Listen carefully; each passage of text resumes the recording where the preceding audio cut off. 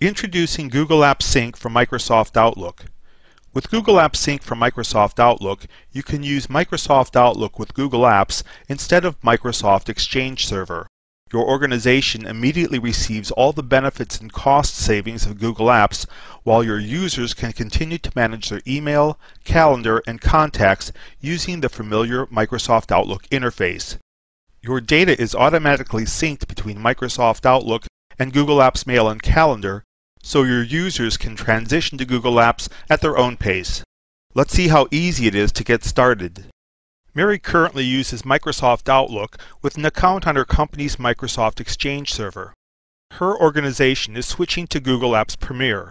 Mary's account includes email, calendar events, and contacts.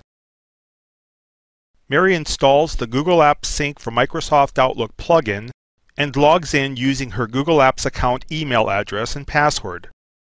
She clicks Create Profile to import her contacts, calendar, and email messages to the Google Apps servers. With Google Apps now set up, Mary continues to Microsoft Outlook.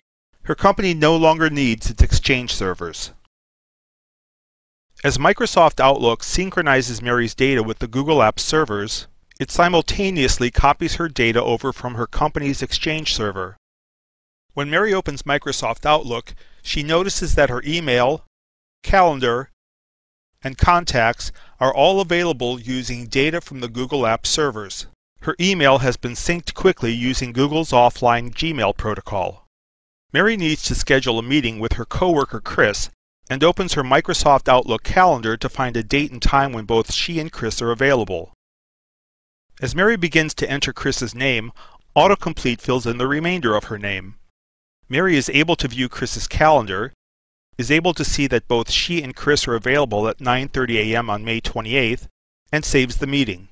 Behind the scenes, Google Apps Sync for Microsoft Outlook syncs the data created in Microsoft Outlook with the Google Apps servers. Later, when Mary opens her Google Calendar, she sees the meeting she created in Microsoft Outlook. And Mary can see her meeting responses in either Google Calendar or Microsoft Outlook. Mary wants to update Chris's contact profile and sees that her Microsoft Outlook contact information is available to her in Google Apps. She decides to add a picture to Chris's profile as well as her mobile number. Chris's picture and mobile number now display in her Microsoft Outlook contacts. With Google Apps Sync for Microsoft Outlook, you can continue to use the familiar Outlook interface for email, calendar, and contacts while your organization receives the benefits and cost savings of running Google Apps on the back end.